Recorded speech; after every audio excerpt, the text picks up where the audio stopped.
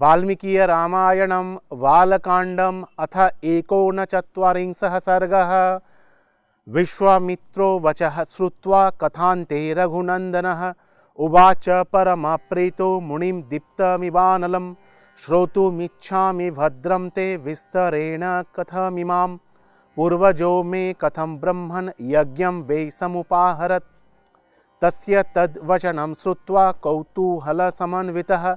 विश्वामित्रस्तु काकुत्स्थमुवाच प्रहसिन्निव श्रूयतां विस्तरो राम सगरस्य महात्मनः शङ्करश्वशुरो नाम्ना हिमवानीति विश्रुतः। विन्ध्यपर्वतमासाद्य निरीक्षेते परस्परं, तयोर्मध्ये समभवद् यज्ञः स पुरुषोत्तम। स हि देशो नरव्याघ्र प्रशस्तो यज्ञकर्मणि, तस्या स्वचर्यां काकुत्स्थ दृढधन्वा महारथः अंशुमान करोत्तात सगरस्य मते स्थितः। तस्य पर्वणि तं यज्ञं यजमानस्य राक्षसीं तनुमास्थाय यज्ञियाश्वमपाहरत् ह्रियमाणे तु काकुत्स्थ, तस्मिन् महात्मनः। उपाध्याय गणः सर्वे यजमानमथाब्रुवन् अयं पर्वणि वेगेन यज्ञियाश्वोपनीयते हर्तारं जहि काकुत्स्थ हयश्चैवोपनीयतां। यज्ञछिद्रं भवत्येतत् सर्वेषां शिवायनः तत्तथा क्रियतं राजन् यज्ञो छिद्रः कृतो भवेत्। सोपाध्याय वचः श्रुत्वा तस्मिन् सदसि पार्थिवः। षष्टिं पुत्रसहस्राणि वाक्यमेतदुवाचः। गतिं पुत्रा न पश्यामि रक्षसां पुरुषर्षवः मन्त्रपूतैर्महाभागैरास्थितो हि महाक्रतुः। तद्गच्छतः विचिन्वध्यं पुत्रकाभद्रमस्तु वः समुद्रमालिनीं सर्वां पृथिवीमनुगच्छत। एकैकं योजनं पुत्रा विस्तारमभिगच्छत। यावत् तुरगसन्दर्शस्तावत् खनत मेदिनीं।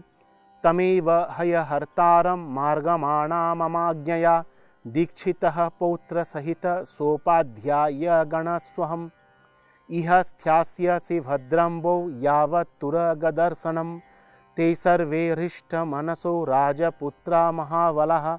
जग्मुर्महीतलं राम पितुर्वचनयन्त्रितः।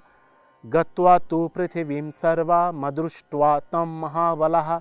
योजनायामविस्तारमेकैको धरणीतलं विविदुः पुरुषव्याघ्रा वज्रस्पर्शसमैभुजैः शूलैरसणिकल्पैश्च, हलैश्चापि सुदारुणैः भिद्यमाना वसुमती ननाद रघुनन्दन।